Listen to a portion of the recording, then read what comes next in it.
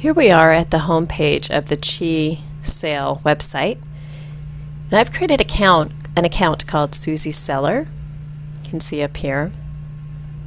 The first thing we want to do is add some items. So we'll go to My Items, Add. And these will be single items, so the number of items in this set is 1.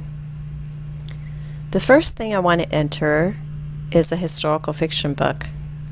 So I'll select Fiction, and then I will select a subcategory of historical, and then I will find the publisher. It may or may not be in this list. If the publisher isn't listed here, what you want to do is just click Other. I know that'll be off your screen a little bit. Other, and then enter the publisher. This happens to come up because I've used it before. Next, enter the title, description, and author. Another book that I've entered before. So you see I have the title by author. The grade level for this I'm going to put at uh, K through 5th.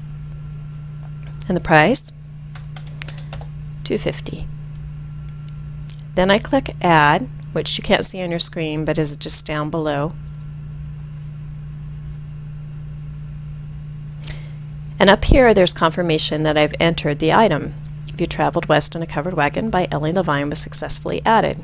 Now I can start adding below. If at any time you want to go and view your inventory of all the things you've added, you just go to My Items, View and Edit, and you can make changes here, you can delete the items, whatever you need to do. But that's the first example of how to enter one single item.